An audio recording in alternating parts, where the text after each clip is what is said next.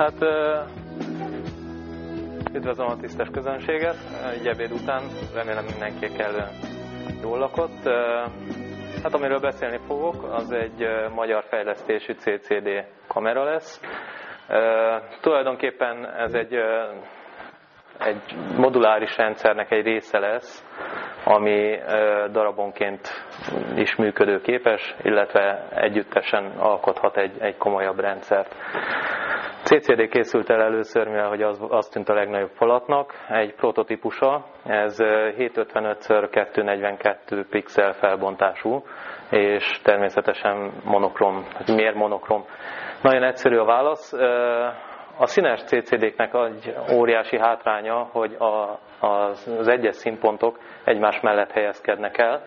Gyakorlatilag előfordulhat két pontszerű objektum, ami két egymás melletti pixelre esne rá. Előfordulhat, hogy a színesnél csak az egyik a vörösen látszik, a másik a kéken, mert nem fért rá gyakorlatilag. Fekete-fehérnél gyakorlatilag az alapfelbontásunk színszűrőkkel megtartható, tehát ez a 242x755 ez színszűrők után is ugyanennyi marad.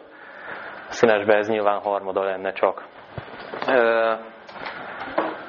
A végcél természetesen egy, egy 1 megapixeles változat lesz, hűtött formában, a Texasnak a, a csipjével. Na most prototípus az még frissen, melegen hajtogatott doboz.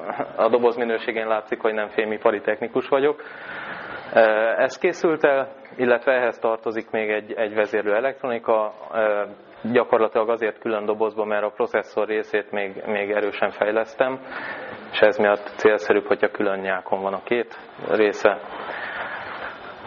Tulajdonképpen nem az a célom, hogy, hogy a, a médet, illetve a mm, Santa Monikát próbáljam meg úgymond konkurenciát csinálni nekik, mert igazából nem ez a cél, hanem az, hogy egy amatőrök számára megfizethető CCD kamerát építsek.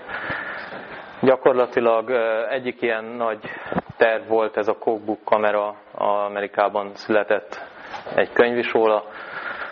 Sokan megépítették, előszeretettel használják. Ugyanezt a csipet alkalmaztam én is első körben. Kisebb módosításokat eszközöltem, részben a, a zavarok megszüntetésére, részben pedig arra, hogy elérjem az 1 megapixeles végcélt. Tulajdonképpen amit még elmondok róla, hogy egy saját fejlesztésű szoftver is tartozik hozzá, ez jelen pillanatban csak szimpla funkciókkal rendelkezik, mint magának a CCD-nek a vezérlése, illetve a képnek a megjelenítése, illetve mellé egy histogramot és egy automatikus histogram széthúzási funkciót tartalmaz. Erre azért van szükség, mert teljes tartományom az 0-tól 65.535 értékig gyakorlatilag terjed. Ez egy óriási tartomány, és ebben gyakorlatilag kb. 1-2 százaléka az, amit, amit az ember ténylegesen használ. Ilyenkor jó, hogyha az ember át tudja skálázni a histogramot, és láthatóvá válik az amúgy feketének tűnő kép. Hát el kell még mondanom, hogy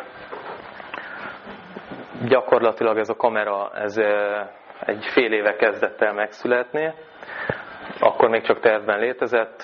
Nagyon-nagyon nehéz beszerezni Magyarországon minden alkatrészt hozzá, hogy az előttem lévő kollégák is jellemezték a piacokat, hogy igazából nem foglalkoznak az emberrel, kodaknak, e-mail igazából válaszra méltatták, de csak annyival, hogy sajnáljuk magyarokkal nem foglalkozunk.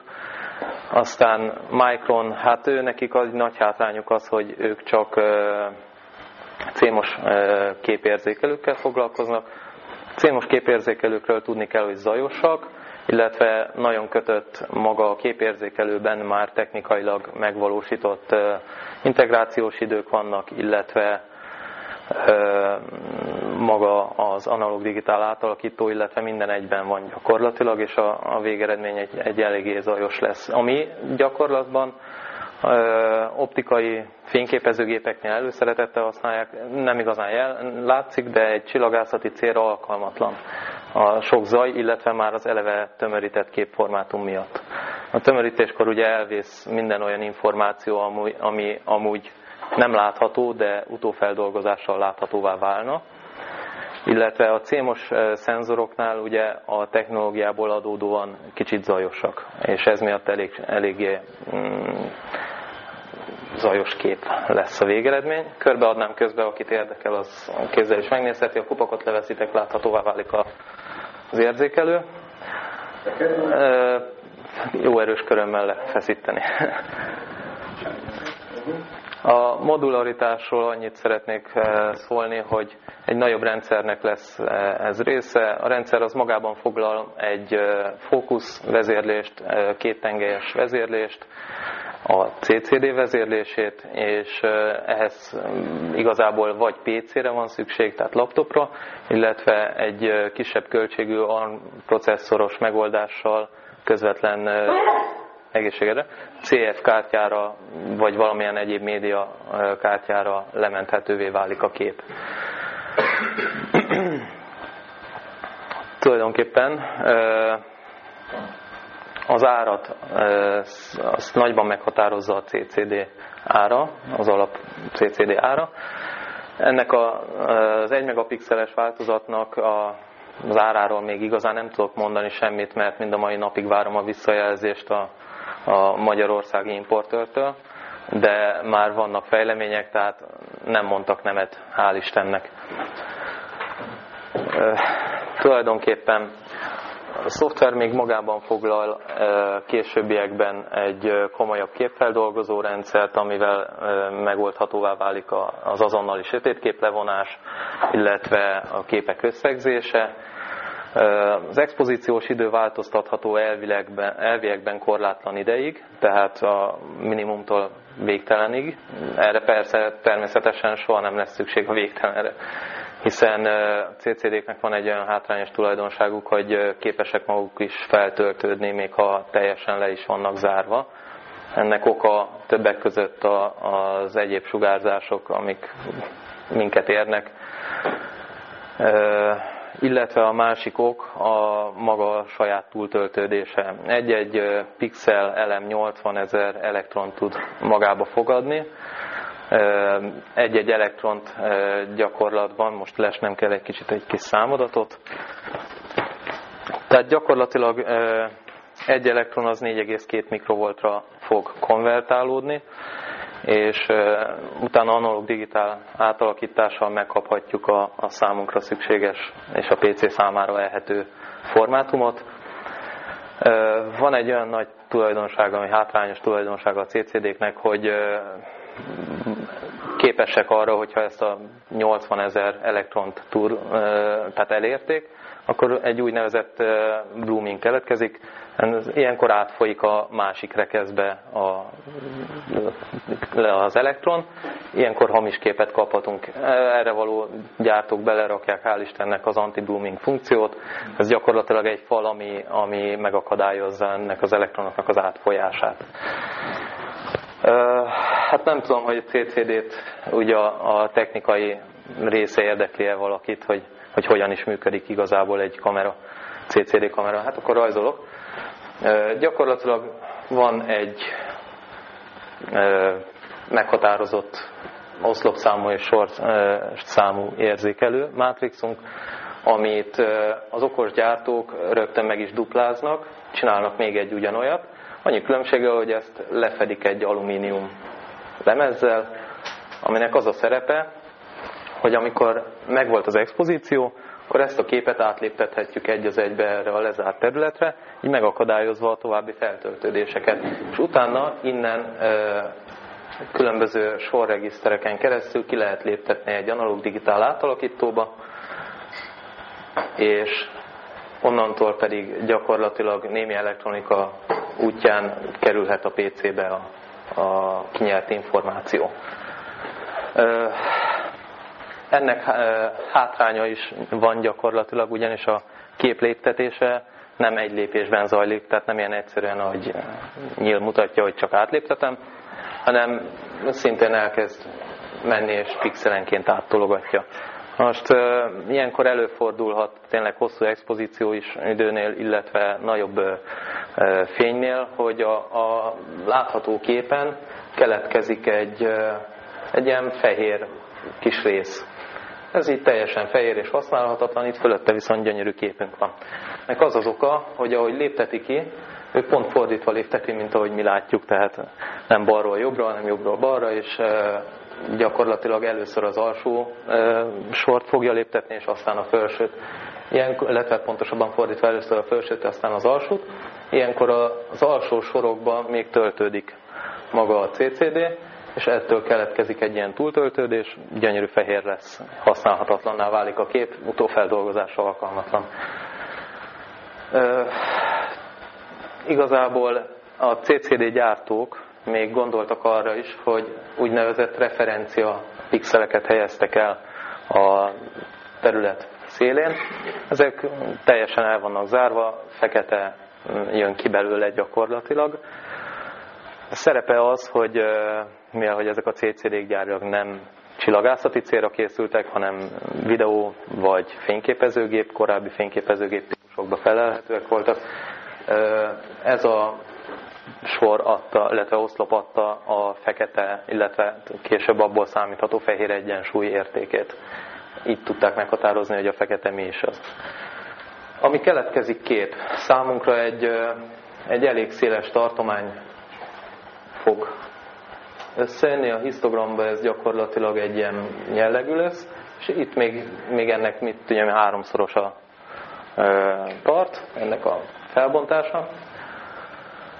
Ez annak az oka, hogy 16 bites digitál átal, analóg, illetve analóg digitál átalakítót alkalmazok. Ez azt jelenti, hogy a, a nullától kezdve a 65535-ig 65535 értékig lehet gyakorlatilag kiértékelni egy-egy pixelnek a, a töltöttségét, de erre igazából sose, soha nincsen szükség de gyakorlatban az utófeldolgozásnál igenis számít a 16 bites színmélység, mert ugye ha veszünk egy vonalat, és azt megpróbáljuk 256 részre bontani, akkor kapunk egy pár vonalat. A vonalakon belül gyakorlatilag nem fogjuk tudni eldönteni, mert hogy csak egy-egy mintát veszünk 256 darabot egész pontosan a X hosszú vonalból,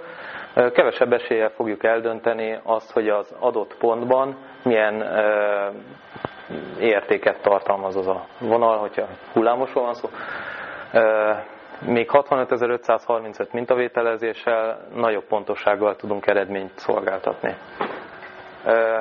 Ilyenkor alkalmazható a histogram funkció, ez a kép kiolvasásakor meg van határozva egy minimum dinamika és egy maximum dinamika tartomány, ami jellemzi azt, hogy mi az az első érték a histogramban, ami már használható, és mi az az utolsó érték a histogramban, ami szintén használható.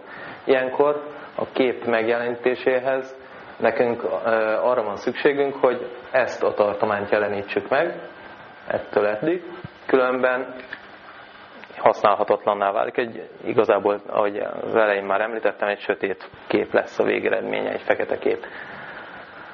Természetesen a CCD-knek van egy további nagy hátrányuk, zajosak tudnak lenni, az imént említett sugárzások miatt, illetve az erősítő, az előerősítő, ami az analóg digitál átalakító előtt van, illetve az analóg digitál átalakító, illetve magának az egész elektronikának a, a folyamán, illetve kialakítása folytán zajt szed össze. És ennek a zajnak a, a csökkentésére részben használható a CCD-nek a közvetlen hűtése, két tagú pöltjer, vagy, illetve pluszba még rá hűtőborda ventilátorral ellátva, ez gyakorlatilag közel nulla fokosra csökkenti a CCD hőmérsékletét. A gyári adatok szerint 45 fokon mért zaj az 6 millivolt. Tehát az azt jelenti, hogy én 0-tól 5 volt közötti értéket kapok a CCD kimenetén közvetlenül, és 6 millivolt a számottevő tud lenni. De hűtéskor ez lecsökkenhet akár egy millivolt alá is, illetve az első kép, amit, amit az ember megtesz egy CCD képfeldolgozás előtt, illetve már a fotózás előtt, hogy csinál egy sötét képet. Sötét képben gyakorlatilag benne lesz, illetve többet is csinálhat, benne lesznek azok a hibák, amiket, amikkel terhelt alapvetően a, a CCD, az elektronika, illetve majd a később elkészülő valóságos kép. A sötét képet utána az elkészült normál képből le kell vonni, és így gyakorlatilag nagy átlagban levonhatjuk azokat a hibákat a, a saját képünkből, ami, ami amúgy keletkezett. Szükség van még továbbá néhány esetben arra is, hogy ezeket a sötét képeket különböző hőfokon készítsük el, ugyanis szintén befolyásoló tényezője a CCD érzékenységének a hőmérséklet. Nyilván, amint említettem, minél alacsonyabb ez, annál, annál kellemesebb, tehát annál kevésbé zajosabb a CCD-nk. De mivel, hogy az elektronika sem teljesen, tehát ez is egy, ugye egy analóg dolog, függ a környezeti hőmérséklettől az is, hogy mennyire tudja azt a hőt, amit a CCD-től elvon, mennyire tudja a hűtőborda eldiszipálni. Igazából végkövetkeztetés az, hogy, hogy minden, tehát minden egyes fotózás előtt érdemes sötétképet készíteni, és utána azt felhasználni. Erre például a, a FitFi formátuma is lehetőséget ad, hogy, hogy megjegyzésként tartalmazza a hőmérsékletet, a környezeti hőmérsékletet, a CCD hőmérsékletét, és illetve azt is, hogy milyen expozíciós idővel készült, mert ugye a sötét is minél hosszabb az expozíciós idő, annál több hibát szed össze, és természetesen ugyanolyan ö, sötét képet kell levonni, ugyanolyan hosszú expozíciós idővel készült sötét képet, és ö, ugyanolyan hőmérsékleti sötét képet kell levonni a leendő képünkből ahhoz, hogy megfelelő eredményt kapjunk. A sötét kép levonása után kapunk egy viszonylag tiszta képet, összeadhatjuk a több elkészült képünket, így igazából előtűnhetnek olyan dolgok, amik amúgy szabad szemmel nem is láthatóak. Továbbá az szintén a moduláris rendszerhez visszatérve tartalmazni fog egy, egy szűrőváltó vezérlőt. Ennek a szerepe az, hogy a színes képek is elkészülhessenek.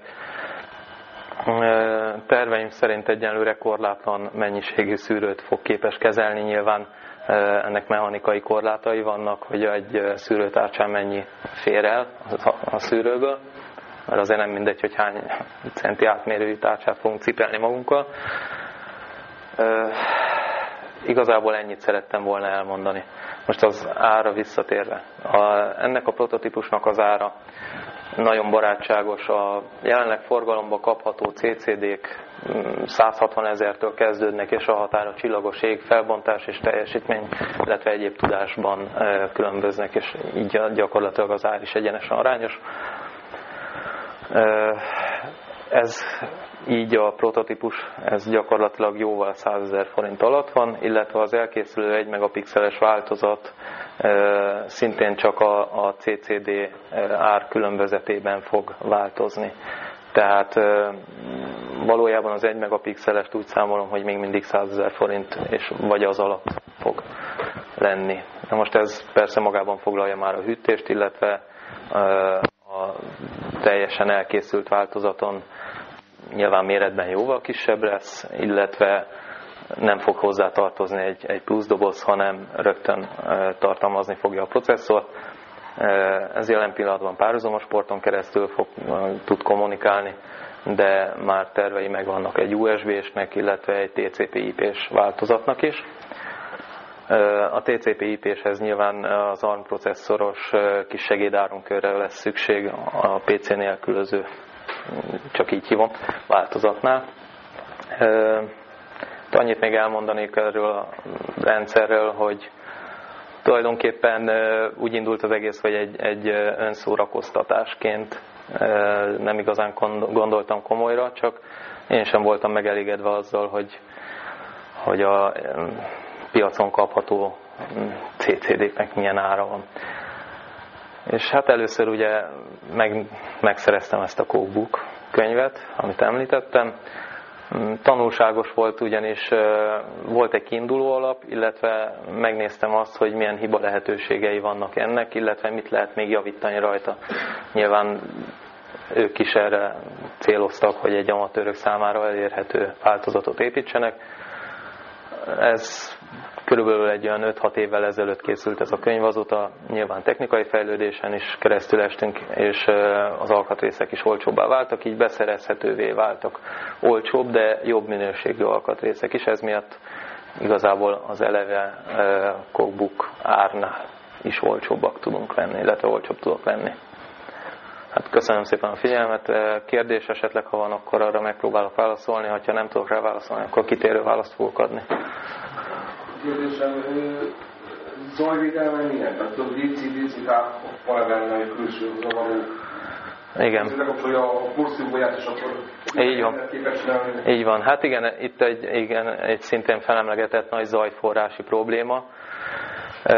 Nem csak a DC-DC, hanem a rádióforrás, de ezt, ezt már említettem. A DC-DC átalakító gyakorlatilag egy reményeim szerint. Tehát most egy 220-as szimpla, illetve egy szimpla kapcsolóüzemű tápot használok.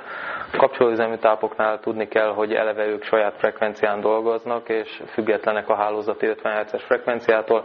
Ők egyen irányítják a 220 voltos tápfeszültséget, és abból csinálnak maguknak megfelelő feszültségeket. Ez már részben csökkenti, illetve elektrolit és egyéb kioltó tekercses, stb. szűréssel meg lehet oldani, de a legjobb üzem mégis az akkumulátoros változat. Ennek a tápigénye plusz-minusz 12 volt. Na most a plusz-minusz 12 voltot ugye kicsit nehézkes előállítani egy akkumulátorból.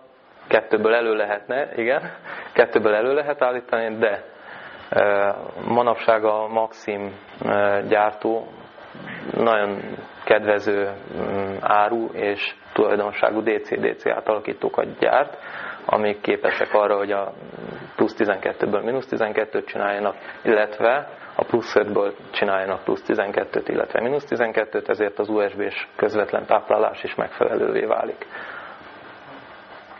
Egy kérdés, mikor a konkrét nem prototípus? A konkrét nem prototípus. Függ részben a beszállítótól, akitől az 1 megapixeles CCD-t fogom rendelni. Ők most mielőtt kezdődött az előadást néztem, hogy válaszoltak-e végre a levelemre. Hát a, a jó magyar bürokratív szokás szerint továbbították egy másik kollégának a levelet, aki majd megkérdezi, de mivel hogy a listájukban láttam, hogy ez a típus kapható náluk, de csak megrendelésre, ezért ezért biztosan, hogy el fog készülni. Időben reménykedem benne, hogy idén még, vagy legkésőbb január-február környékén elérhetővé válik. Az 1002x1004 pixel, tehát összesen 1 megapixel durván, mert az a két és a négy pixel az, az elhanyagolható a széleken. És négyszögletes a pixel, vagy Ez teljesen négyszögletes. Szem ellenben ezzel ez 755x242, ez egy, igen, ez egy szép téglalap alakú csíp, és eléggé komoly.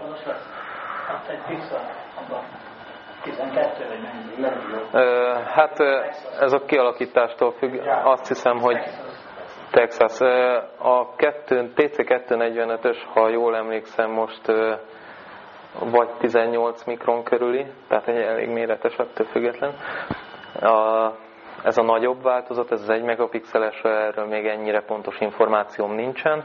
Az adatlapja az, az nemrég vált elérhetővé, még nem volt időm megnézni sajnos a munkám mellett.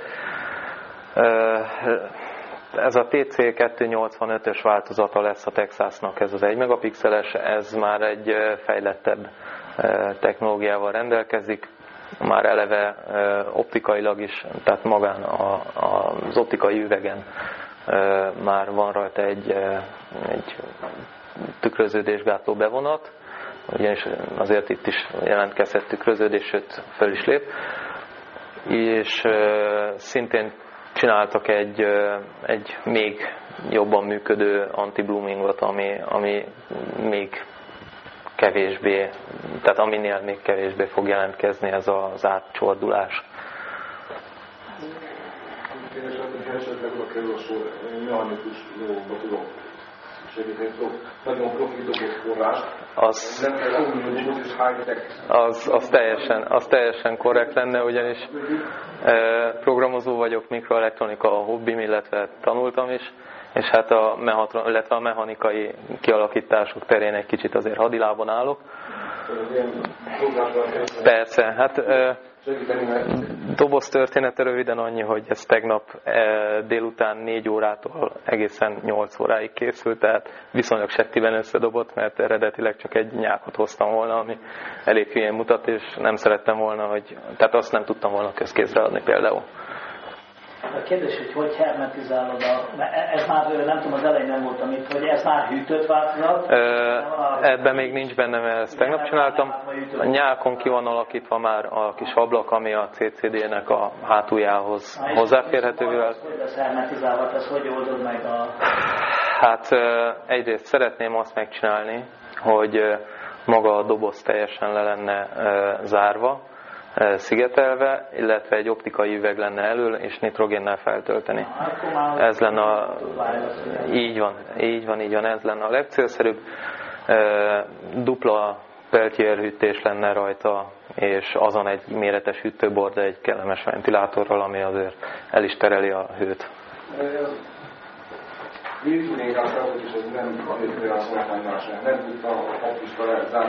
Igen, igen, ez, ez problémát fog jelenteni.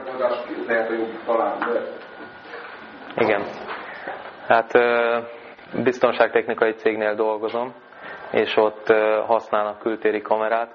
Ott is nagy problémát jelent egyébként az, hogy állandóan bepárásodnak, és hát az egyik nagy megoldás lett az, hogy fűtöttek alulról. Ez nyilván a CCD zajához vezetett, és tényleg egy olyan képre, hogy, hogy a, a betörőt nem lehetett megfogni, mert pont az arcát nem lehetett felismerni. Hát igen, komoly probléma. És később ők is átértek arra, hogy szilikátgelt használtak, mert az kellemesen el tudja azért vonni a párát. Hát köszönöm szépen akkor a figyelmet, hogyha egyébként egyéb kérdés van. Ja, és az előadások után be is indítom, tehát akkor megtekinthetővé válik. Kell hozzá egy közdarab. Mikrofon.